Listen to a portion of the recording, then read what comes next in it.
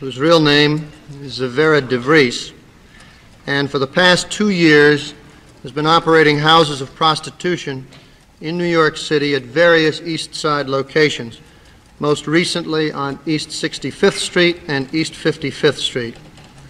The houses that she ran were fairly sophisticated operations. For example, the East 55th Street operation was a very well-furnished three-bedroom apartment with a maid who served drinks from a very well-stocked liquor supply. And the girls employed there were professionals who also worked with other madams throughout the city. The services that were rendered uh, at this particular establishment, I think, could be described as somewhat bizarre. The minimum charge was $50, and Hollander kept a detailed set of books on her customers and expanded her business on the basis of referrals. Her customers were given business cards to identify her as an interior decorator, which they could then pass on to their friends, and their friends could use the card to gain admittance into her establishment. Her boyfriend, who we'll describe as Larry, she cultivated the friendship of a sergeant on the police force who apparently notified her of any impending police action against her that he could that he knew or could find out about. This sergeant retired from the force after testifying before the Knapp Commission in executive session. Hollander also employed a limousine chauffeur who passed money for her to individual policemen on various occasions. Early this year, the commission learned about Hollander and became aware of her payoffs to members of the police department. And Knapp Commission investigators visited Hollander and interviewed her con- concerning these payoffs.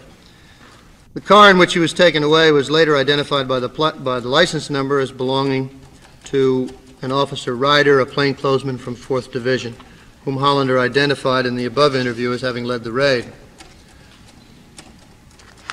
Approximately one month after Hollander's initial arrest, a New York City police officer met with an individual to cover activities by the police officer of possible payoffs at the division, borough, and precinct level.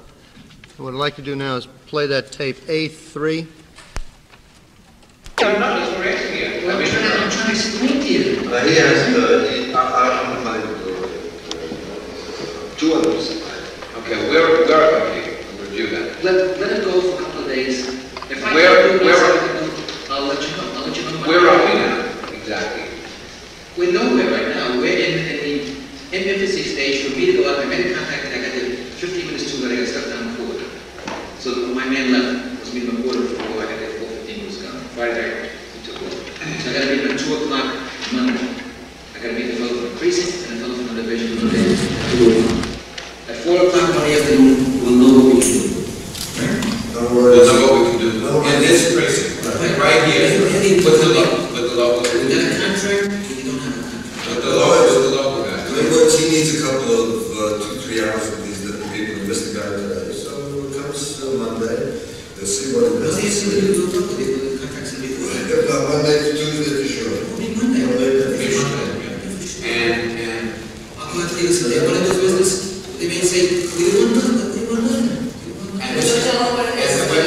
Gracias.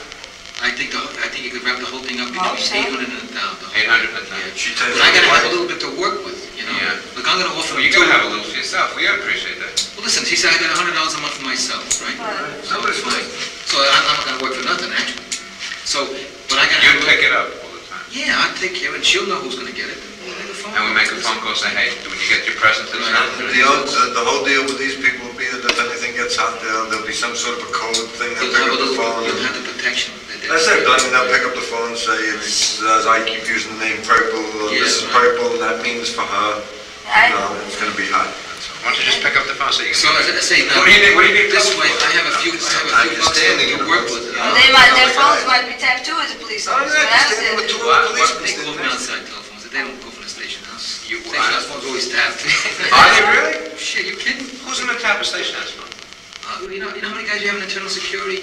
I can imagine the Fine. Oh, you mean internal security would tap the local co- and, and, and then that Internal would... security is looking to catch us. Cause yeah, when I got raided at the police office, I made a Five call to guys I thought the Knapp commission was inter, like, for internal security. Nothing to do, that's beside Bes- our own security. Yep.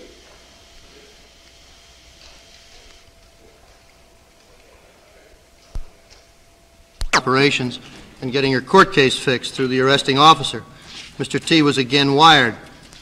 During this conversation, excerpts of which we will play in a minute, the officer pointed out that if Hollander were convicted of a crime of moral turpitude, she would be subject to de- deportation as an undesirable alien, and that the police were aware that her list of customers had been purchased from another madam. The officer then raised the ante from $1,000 to $10,000. That's for taking care of the court case. With respect to future operations, the protection was set at $1,100 per month with a guarantee that nobody short of the chief inspector or the police commissioner would interfere. Out of the $1,100 monthly payment, officer, uh, the officer was to keep $100 to himself. The rest was to be distributed among other officers. I would like to make clear at this time that in evaluating these tapes, the commission takes the position that the, what, what you hear on the tape with respect to the person who is speaking speaks for itself. As far as what he is saying about other people, that obviously has to be judged in the context of who's saying it and for what reason he's saying it. Um, We'd like to play now tapes A5 and A6. I thought the Knapp commission was inter, like, Nothing to do, that's beside Bes- our own security. Yep.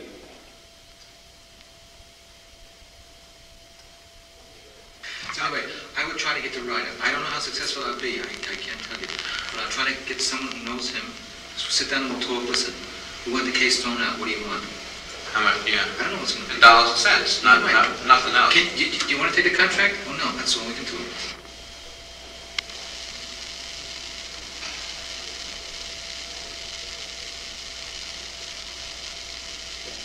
What I gotta tell I'm sorry I was late. It's gonna, it's, okay. It's gonna devastate your day. No. Kid knows what he's got. Knows what he's got. He knows if she goes, she's out of business. Talk about. If he convicts her, he, she knows she's going out of the country. Yeah. He told that immigration. What did you? No, up to speak to him about the case. They got a case against him. Know. He knows that she bought the books of the other brother ten thousand. waiting for him. Mr. T paid the officer $500 and promised to pay an additional $600 shortly, and this amount would complete the initial monthly payment for the protection of the, uh, of the prostitution operation. This would be repeated every month thereafter. The officer promised to arrange for Mr. T to observe the payoff that he would make of the share of the money he received to other officers involved in the protection scheme. And in this conversation, uh, I'd like uh, A8.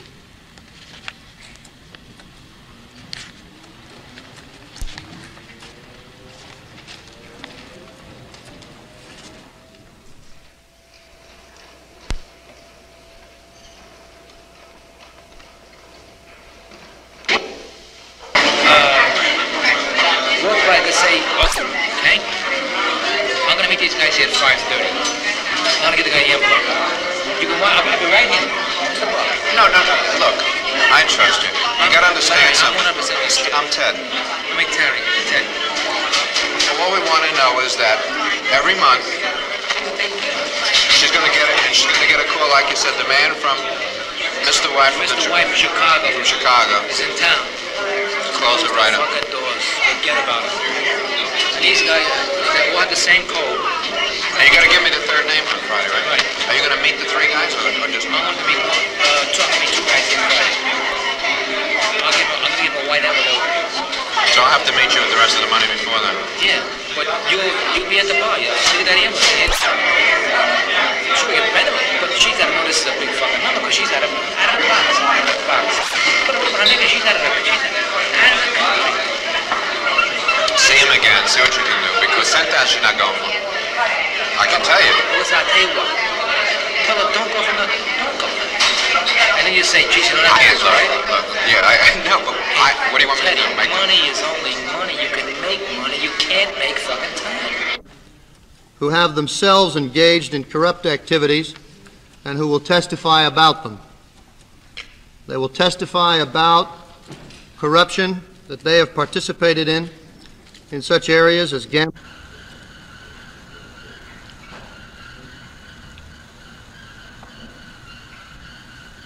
This individual who stops has nothing to do with the matter as far as we know. We're looking into it.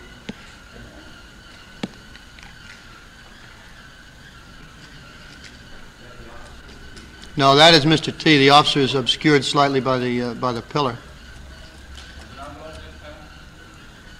The envelope is now in the hands of the officer. That's something else. We're out of fucking business, right? I didn't want to see her go. Uh-huh. I hate to see her go. I want to make a few dollars on the fucking deal. But I guarantee you, a thousand of my own money, that if people's gonna stand, she's out of the country. Is he that good to come? Testifying? He has got a 100% conviction rate on matters. How about that? And if you want to check on that, I a thousand dollars on that. That's how sure I am with the people I'm doing business with. They're not bullshitting me. Uh. And I'm not here to bullshit you. When I was in the 17th squad, that was my fault. that was my headquarters. Follow him, as I will say, that was my headquarters. They wanted us, they closed, hey, they, they got a case, I'll be right back. I'm in here 12 years. Twelve years. This is my, on a, in Clark's 12 years, I'm on a job 14 years. This was our headquarters. we can do about getting this case fixed in court. We'll play uh, A10 and A11. $500, 1,500 front money to show rider, and the balance after Hollander was set free. And that tape is A14.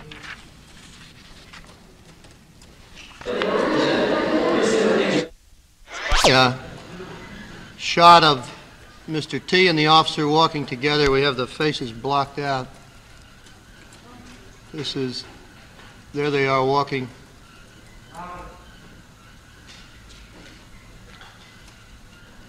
During one of the meetings that have been described. This is the building uh, down the street from the lawyer's office where they have just come, where the meeting took place.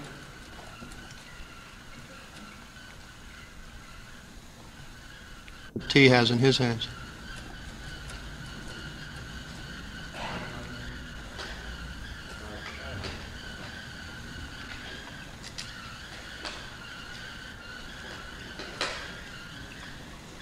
And there is uh, the officer returning to the lawyer's office with the envelope in his hand.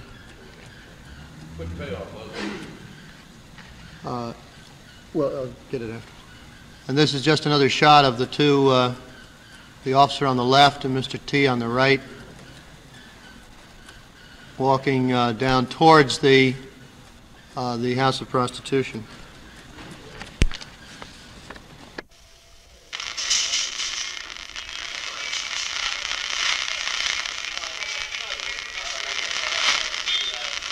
I don't know, ask the young lady. And she's not here to ask. She'll be back in a few seconds. Blanche? There she is.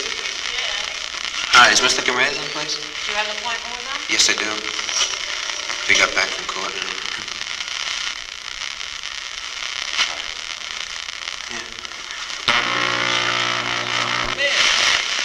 Okay.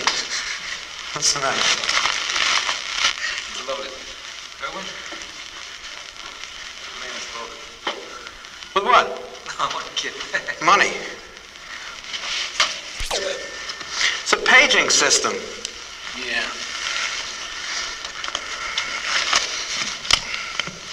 Take it off. It's a paging system, Billy. Yeah.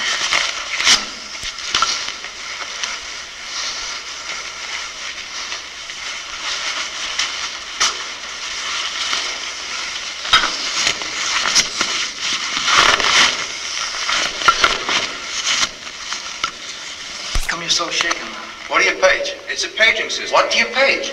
Huh? What do you page? I'll show you. I'll pick up the phone. I'll page it. Do this. Tell you what, if this is what I think it is, you know what? Go ahead, page. Pick up the page.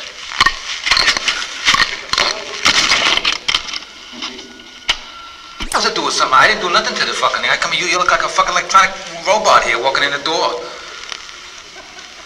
Listen, uh, you, you.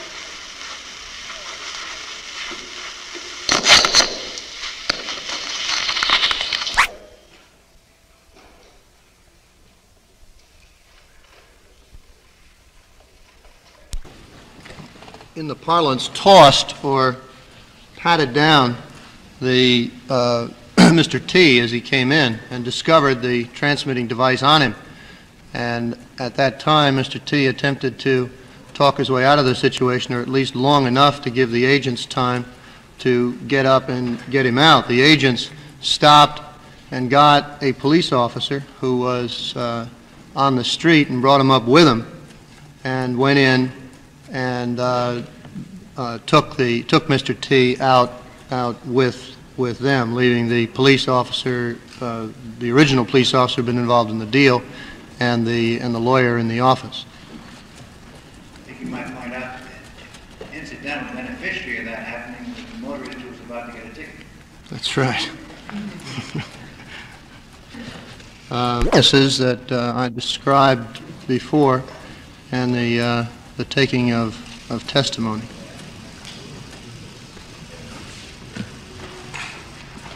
Oh, um, uh, there are, uh, there are transcripts of these tapes that are available. Uh, I'm not sure,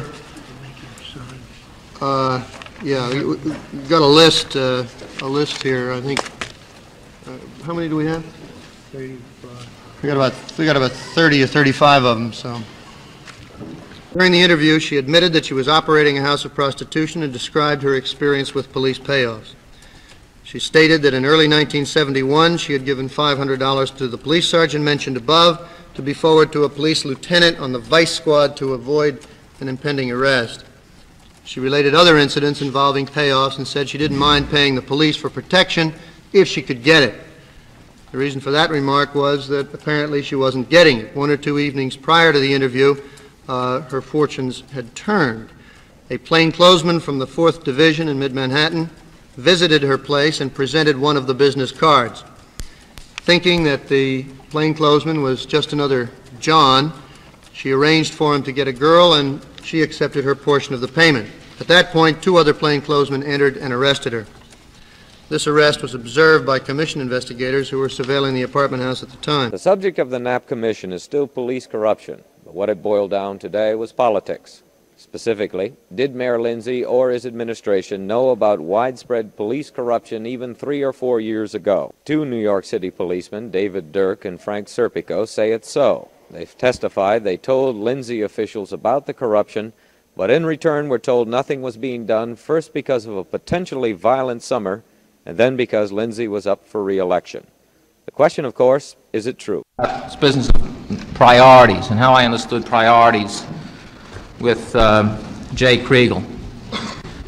Um, the sort of argument that I had with him in terms of priorities even extended to the recruitment program uh, that I was involved with, in the sense that when I wanted to start this in the spring of 66, when, before the city went on, on to hire 6,000... Well, does this have anything to do with the issue of, uh, of of corruption?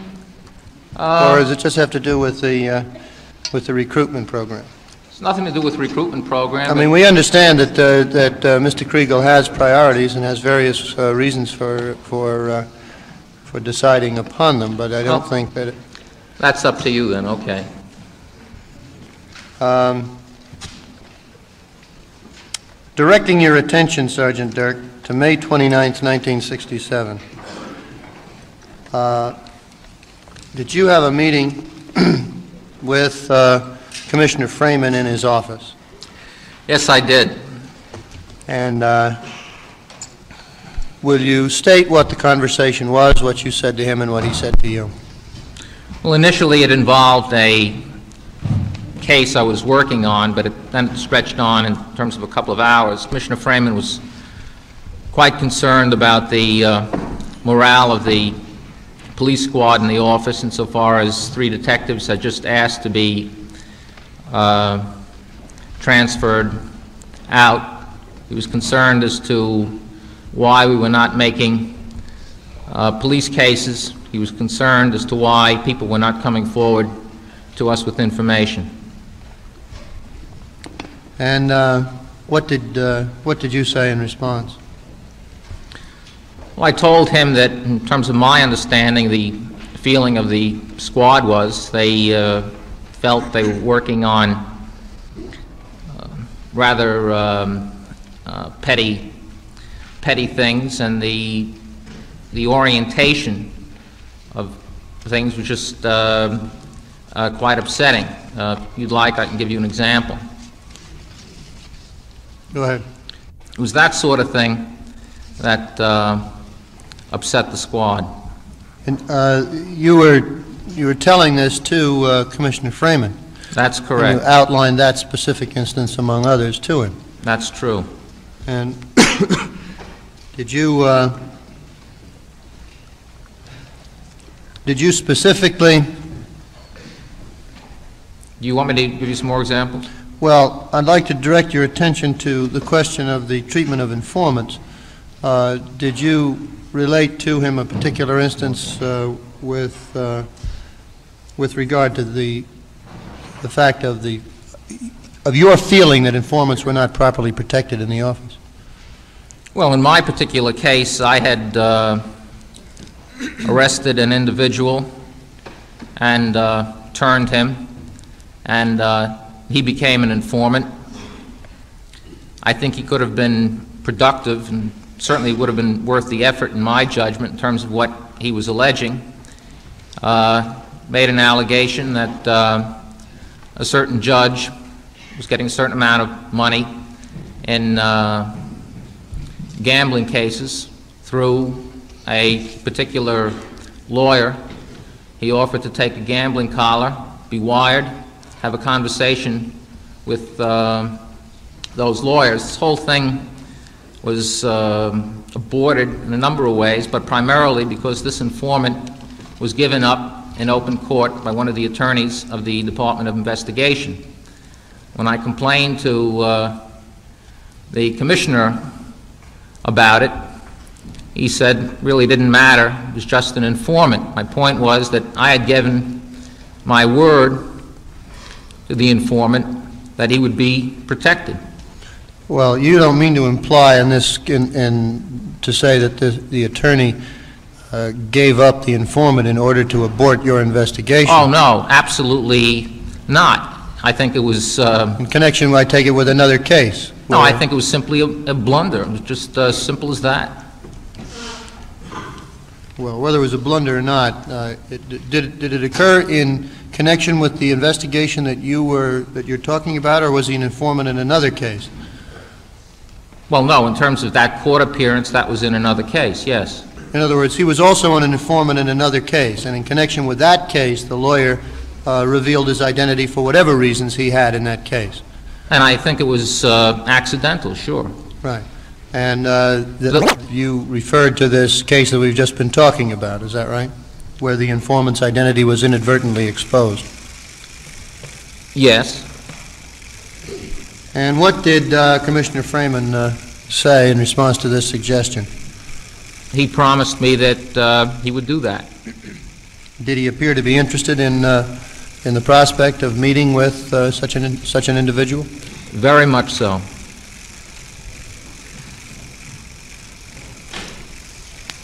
He say to you? Frank was uh, quite upset in that time in the sense that this was, uh, I believe, May 29th. I think on May 25th, his uh, prior partner had been transferred out, and he had a new partner. In the course of their duties, they were using uh, Frank's car. I believe Frank told me that his new partner had made a pickup and had put the money in the glove compartment of Frank's car and indicated to Frank that uh, it would be safer in there than for him to be caught on his person. What Frank was concerned about, that it was his car, and what if it was discovered in his glove compartment? How could he possibly uh, explain it? He was concerned, when it comes down to it, in terms of the possibilities of his being uh, uh, set up.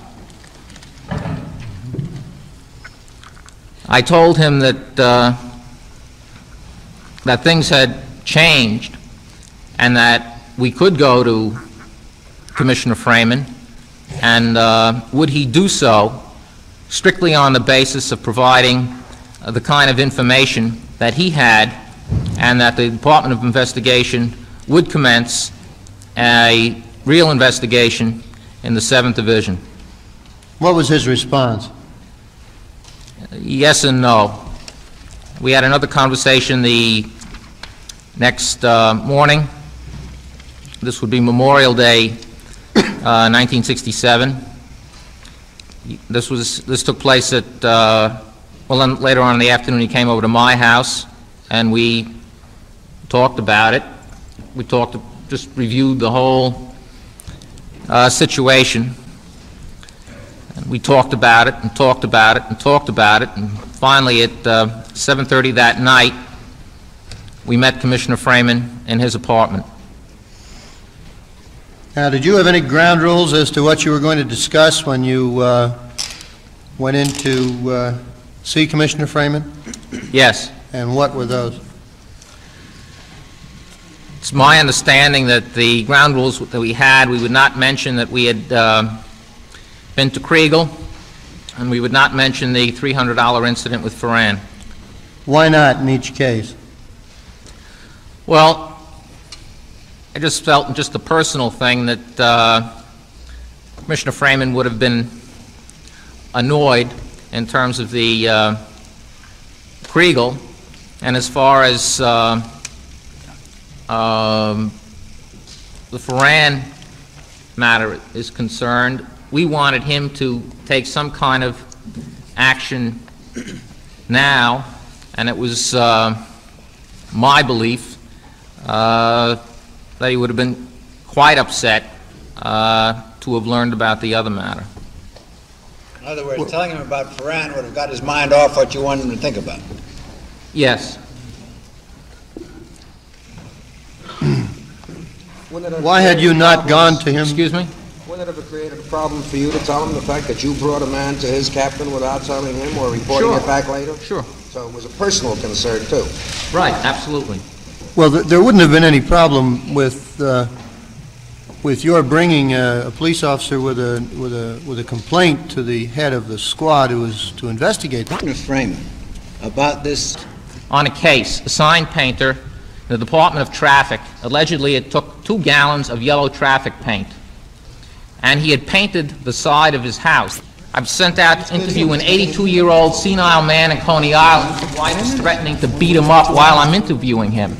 That got a big number in files and reports, but in terms of an approach of going into the building department, wired, soliciting architects, speaking to builders, the kind of things that you have done was absolutely and totally rejected by the office at that time, and this also applied to police cases. I don't know what to make it, how to make it any clearer. In other words, to have a conversation. Conversation, Frank proceeded to give in very specific detail all the things that had happened to him in the uh, 7th Division, and also including things that had happened to him in uh, uh, plain clothes, that involved being informed the size of the uh, pad, how he was taken around, supposedly be introduced to gamblers, being in uh, an apartment and- and being asked to uh, um, count uh, money, put it into piles, This is pad money. the pad money, uh, describe the situation of- of his concern in terms of the envelope or the, some of the pickups that had been done uh, using uh, his car. He indicated that uh, there was, he had actually seen and might have access to a, um, a list of um, pickup spots. He named names, prices. He was quite specific. At one point, when he was just starting in the uh, narrative and told about the uh, introduction to uh, uh, the gamblers, uh, the commissioner said, that's just, you know, petty stuff, you know, get to the big stuff, and uh, Frank did. Now, did the uh, the commissioner at this time take any notes as far as you were aware? I really don't recall. You have no recollection one way or the other? Nope. Was he sitting bu- at a desk, do you remember, or was? Oh, no, no, we were sitting in uh, lounge chairs facing each other. I was sitting, uh, Frank was uh, sitting here, I was sitting here. Remember, Frank was wearing a shoulder holster.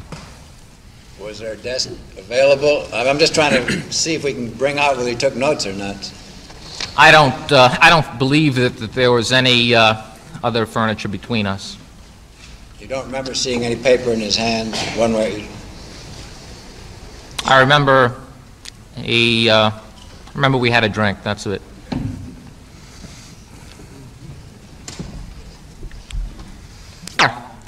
And uh, you're going to do this, and you're going to go out and get conversations for us.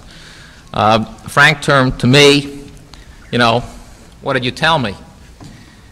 And uh, I objected and tried to remind the commissioner of our conversation of the night before that Frank was coming here to give us information, that we, as the Department of Investigation, would do an investigation based on the kind of information, the very specific information, this hard information, that Frank was in fact uh, giving us. Commissioner Fraiman pursued the idea and told Frank that it was his duty uh, to do as he was directed. Frank then said, look, you know, I'm a patrolman, you are the Commissioner of Investigation, you do the investigation, and that I am willing to cooperate, and I am giving you uh, this information.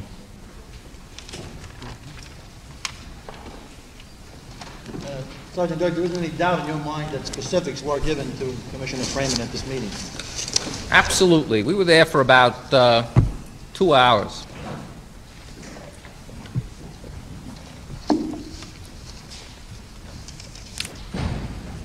Yes, Frank Serpico was willing to uh, try and get us this uh, list. June 1st was going to be the next day. Pickups were normally made at the beginning and uh, sometimes the middle of the month. He would supply us with the uh, locations of the pickup spots, of the names of uh, people who would be making pickups, of the uh, gamblers involved. Uh, Everything that he had related to me, he was prepared to cooperate with, with the only stipulation that he be not put in a position of uh, testifying one-on-one in terms of uh, a wire, In terms of what?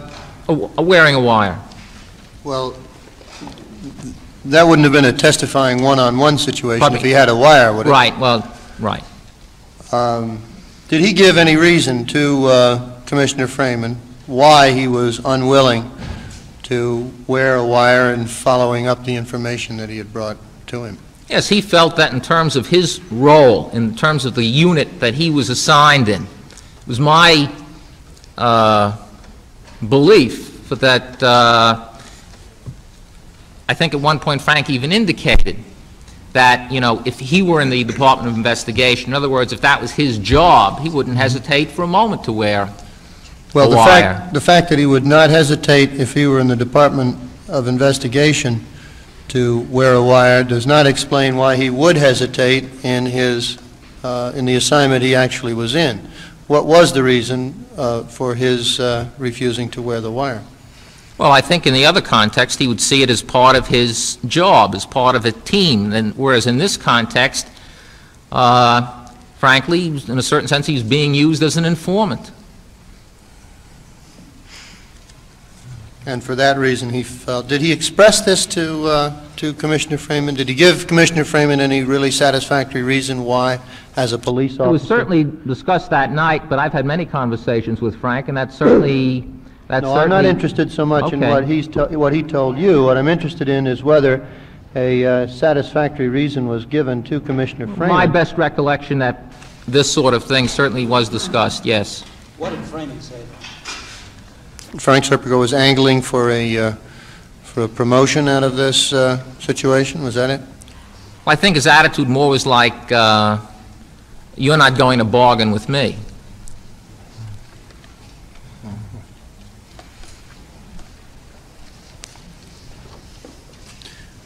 Now, uh, did you have any discussions of alternate, alternative methods of gaining uh, electronic corroboration for the information that uh, Frank Serpico Yes, had we brought did. in? Yes. What was that? Anything on phone taps?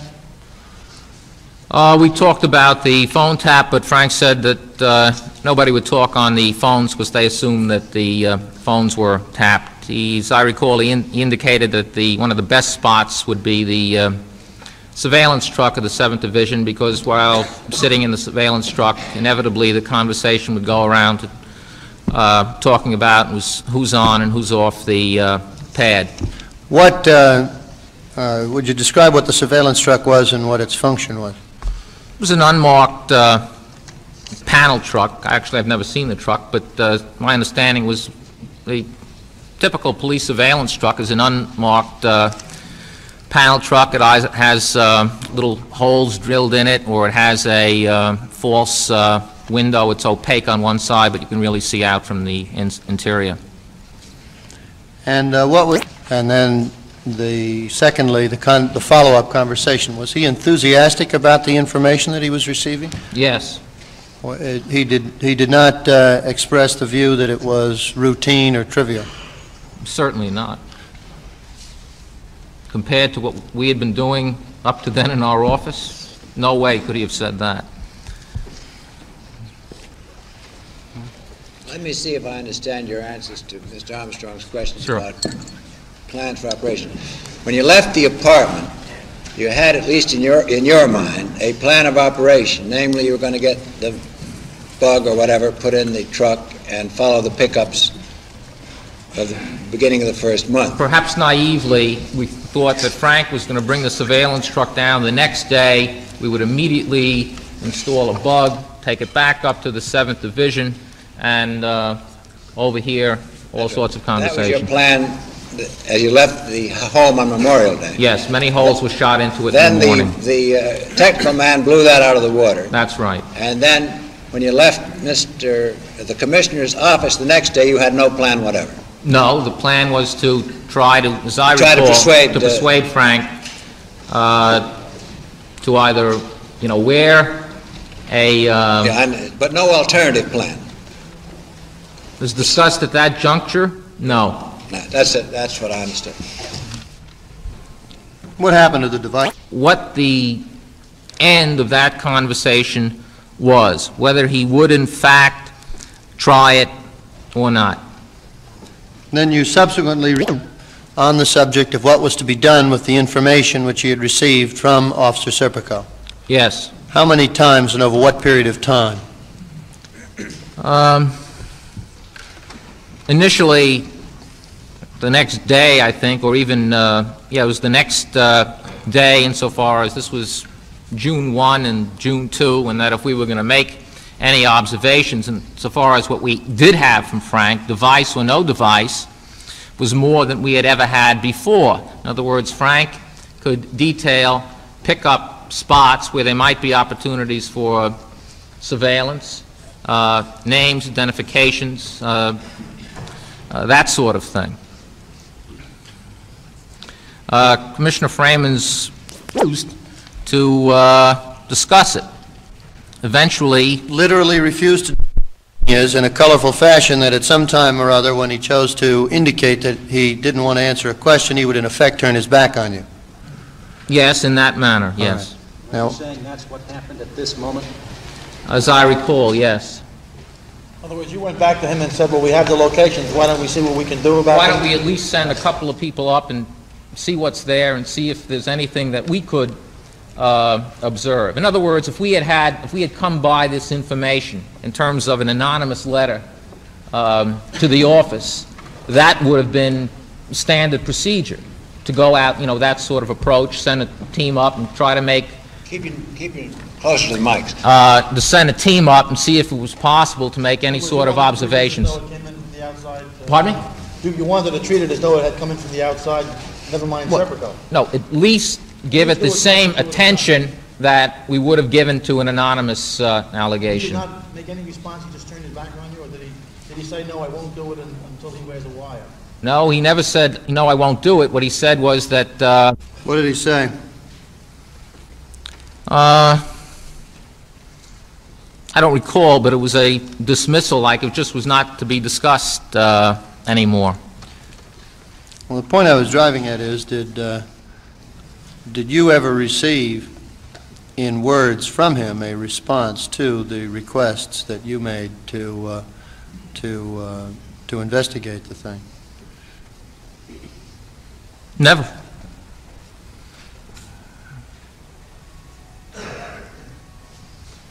Now, what were you telling Serpico all this time as to what was happening to the investigation that was supposed to be proceeding in the Department of Investigation?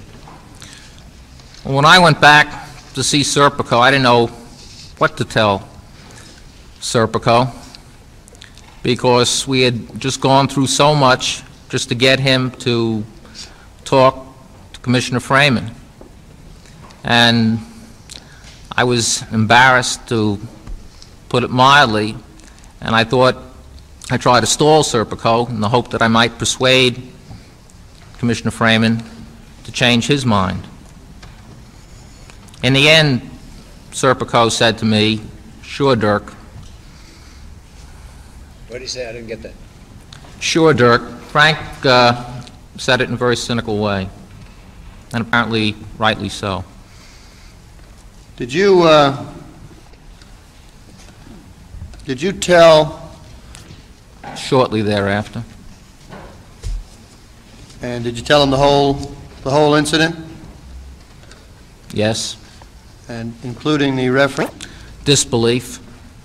Disbelief? Yes, sir, because, I'm sorry, Jay Kriegel, I asked Jay, I mean, uh, didn't you believe what he was telling you? I mean, did you think he was a psycho? And uh, Jay said that, uh, you know, certainly not. He liked, um, he liked Frank. You mean disbelief what, not disbelief of Serpico, That but that. Serpico was absolutely, in in Kriegel's words to me, that Serpico was absolutely not a psycho. And he disbelieved your statement that uh, Fraiman called him a psycho? Oh, no, he didn't believe What my did description. What did he disbelieve?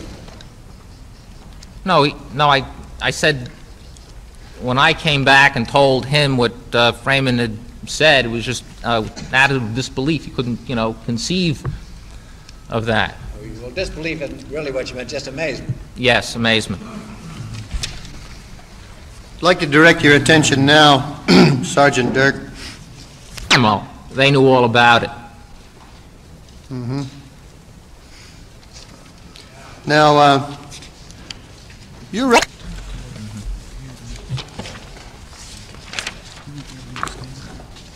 Question you about it? No. He just said, uh, you know, is this for real? And I said, uh, look, this is what we've been talking about um, all along. Well, what did he mean, is this for real? Because uh, uh, if your testimony is correct, as you say, you had been talking about it for quite some time. Well, Was there anything on this memorandum that you hadn't spoken to him about before?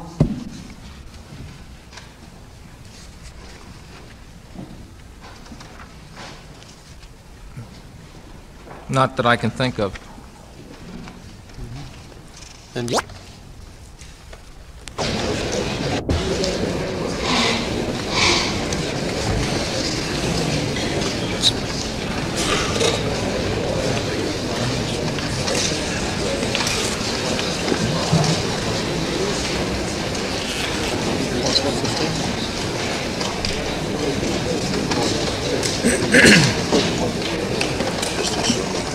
Mike wants to.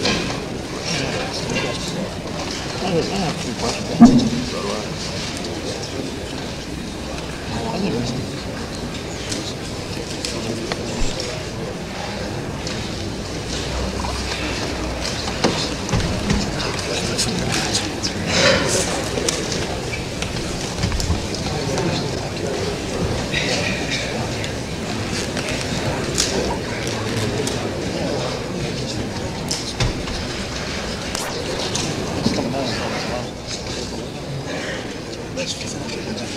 Was simply saying that there should be an investigation in terms of all these stories, that the Department of Investigation was not doing it, that, as far as I knew, the police department was not doing it.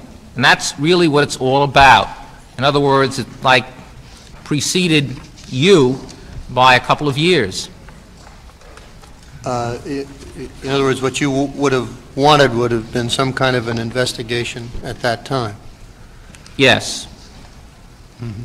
And you felt that this memorandum provided the basis for giving, uh, well, summarizing the Well, things that certainly you had that's some- talked to well, to Kriegel about. Certainly that some questions should be asked at the highest level, especially in the, you know, this ongoing thing with Frank, this hard-going thing, in terms of uh, not hearing from uh, Commissioner Walsh. Okay. And especially Is, uh, is, this. Would it be fair to say, Sergeant Durk, that this memorandum contains uh, a s- uh, a gossip plus some specific facts you got from Serpico, plus your own interpolations as to what the situation was based upon your analysis of what you have been told? Uh, And does not... Is there any particular reason why you couldn't have been introduced to these people and gotten the information and transmitted it without revealing the fact that it had come through him?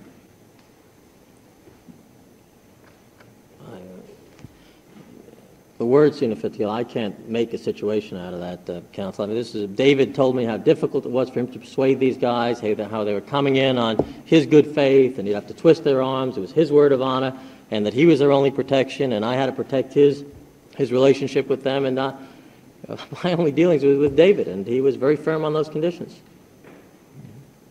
And since he was firm on the conditions, you did not press it to try and get the, uh, uh, try and get the information by persuading him that you, you, that his name could be kept out of it. What I'm not clear on is just exactly what this condition represented. Was it a, rep- what, was it a- an attempt on Durk's part to keep his name out of the situation? He, David Durk did not have any interest in getting information through me back to the police department for verification or investigation. That wasn't something he wanted to discuss. His mind was made up. Beginning around the, uh, by the time of uh, late May of 67, the summer of 67, David is uh, persuaded that what's needed is, uh, is one of two things, either uh, to sweep out the whole top team of the department because they weren't going to do anything, or uh, launch an independent probe of the police department. And those are the only things he was prepared to talk about. Did he suggest specifically launching an to me, independent, an independent probe of the police department? Uh, many times. Did you discuss it with him as a realistic alternative?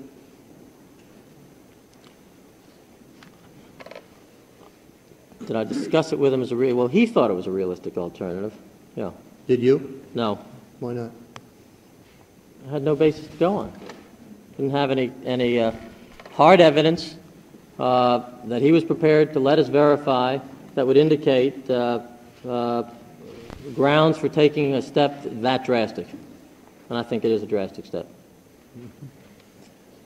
Well, let's, uh, let's get for a moment to the evidence that you, that you did have. Did you discuss specifics of corruption or allegations of corruption with David Durk prior to meeting Frank Serpico? Did he talk to you about Serpico's experiences up to that date and Sure. describe to you what had been going on? Sure. He was always, uh, I, it's very hard for me uh, uh, to remember, for example, a, a lot of what Frank Serpico said because I had heard a good part of it before and after from David again. A lot of, a lot of what he told me was what he'd heard from other people, including Frank. And, and what do you recall uh, hearing from, from Durk at that time? I mean, what kind of specific? Of an organized pad in, in, in, that was, uh, and we discussed that. That was a, uh, we talked about collusive arrests. Um, plainclothesman uh, was tested when he moved first into a unit uh, as to whether or not he could be trusted by uh, his colleagues. Those are the kinds of things I recall from David's prior discussions and from my meeting with uh, David and Frank. Only time I met him. Ever? Ever? Or you haven't seen him? Only face-to-face meeting I've ever had with Frank, yeah. Do I the testimony correctly, what you said is that uh, in spring of 67, I don't recall specifically the names of officers or the dates that were used. I, I, Frank talked about his firsthand experience, and I assume that it included that, yeah. Right. I mean, I'm not asking you whether you now remember the names Uh, and dates. I'm just saying whether you remember that the names and dates were used at that time. Yes. And uh, this was progress or not. Does that uh, conform with your recollection? That's, uh, that's Mr. Durk's testimony, I believe. Yeah, I, he said, he asked me to discreetly check whether it would, was under investigation, but to do that without talking to the police commissioner or the first deputy. Right. Now, I, I don't understand what that means. That sounds im- impossible to me. The Well, only way I can, in- i- i- the only way I could possibly verify whether an investigation was going on was to make inquiry of the police commissioner, the first deputy, or the commissioner of investigation, all of which was clearly prohibited by the ground rules of the meeting. Well, David wanted a meeting with the mayor after that with a group of officers like Frank. That was, that was the point of the meeting. Well, he thought that proved that we ought to have a, a meeting with the mayor, and that ought to result in an independent investigation to the police department.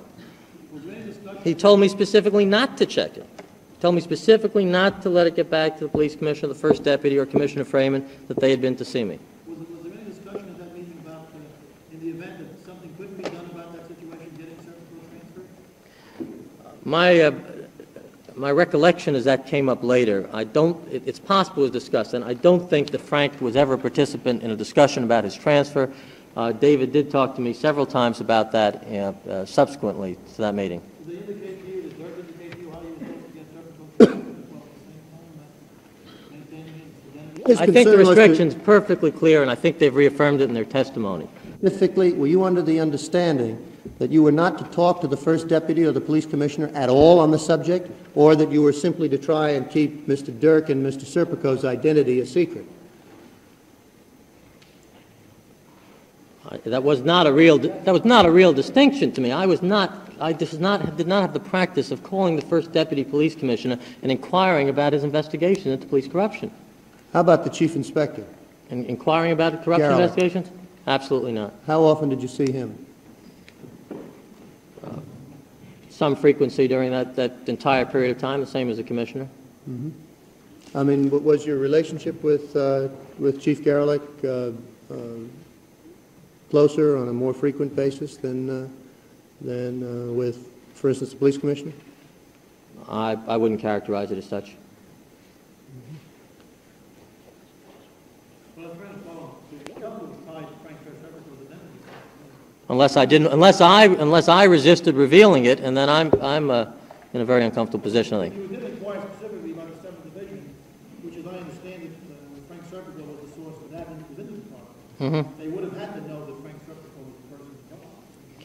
Well, they might have, but they certainly would have, the commissioner certainly would have asked me where would I get the information. I've got an obligation to go forward and, and give him the name of the person who told me that.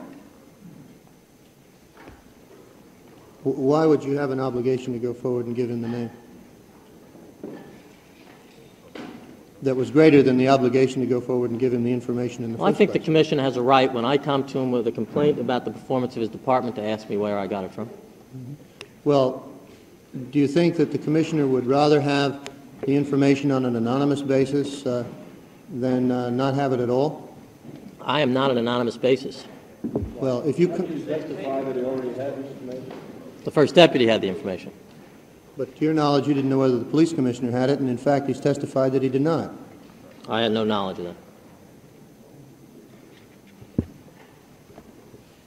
Police department to be properly issued with other, some other action taken, is that what you're saying? I can speak for David Durk much more clearly uh, uh, than uh, Frank Serpico, and I spoke to David about this many times subsequently, that uh, David's purpose at that time was to give us, convey to us his sense that uh, corruption was widespread, that, not, that uh, he was dissatisfied with the top command, and that he wanted, beginning around the beginning of the summer of 67, right around the time of this meeting, I would guess, shortly thereafter, that he thought we ought to either have a new top command of the police department or an independent investigation. Because he didn't want the police department itself to be, conduct this investigation.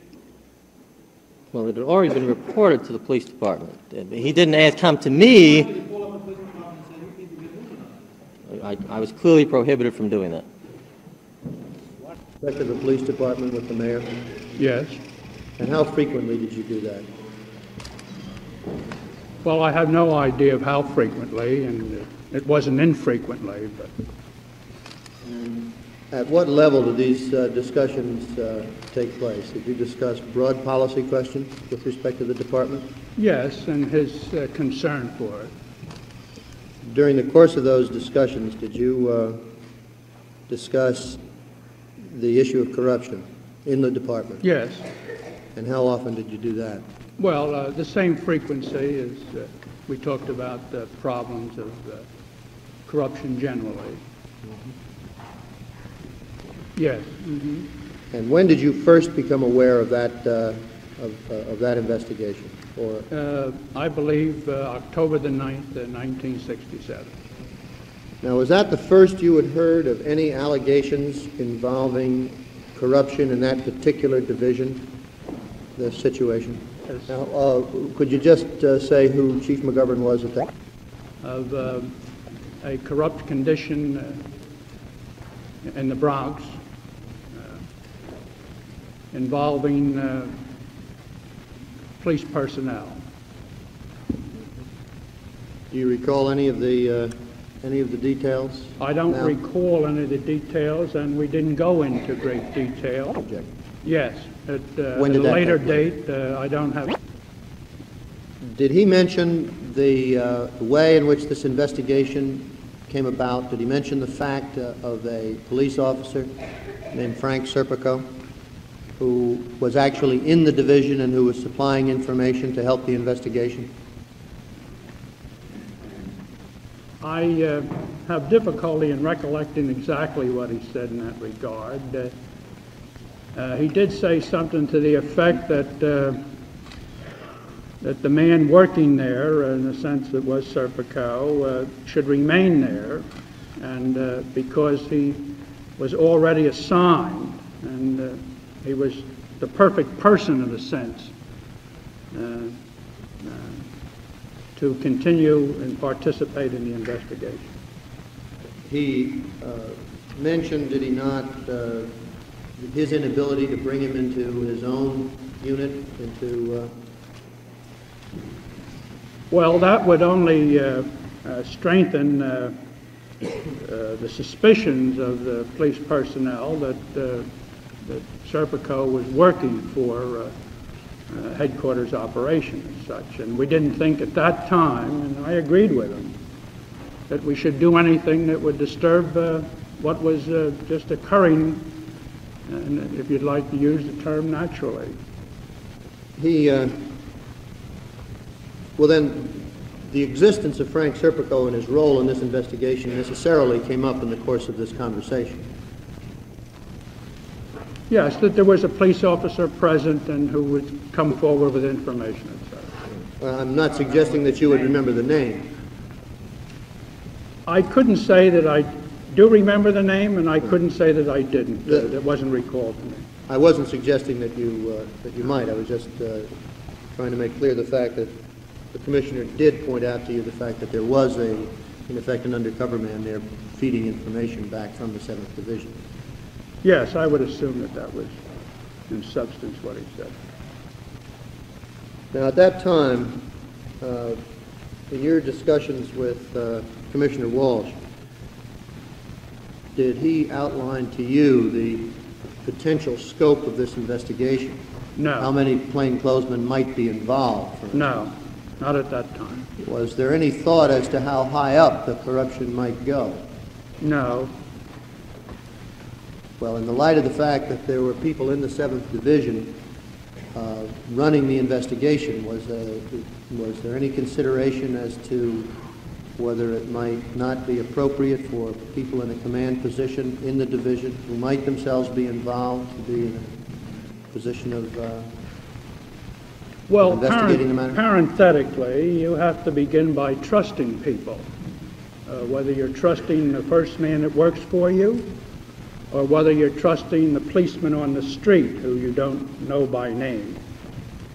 Uh, It appears that, and was true, that all the men who were in charge of that investigation, the Bronx Division, were held in the highest esteem by Mr. Walsh and Mr. McGovern, and also by the department as to their integrity and to their competency.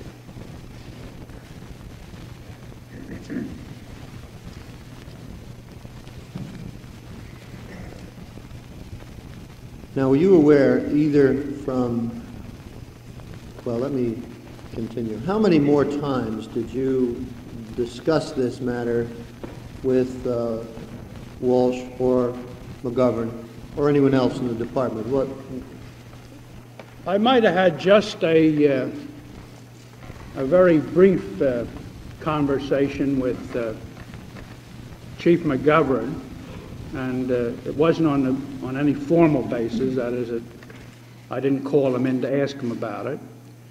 Uh, I had any number and continuously had conversations with John Walsh about many things and about many uh, internal security investigations. you're sure of that? You have a positive I'm recollection? positive- I'm positive of that.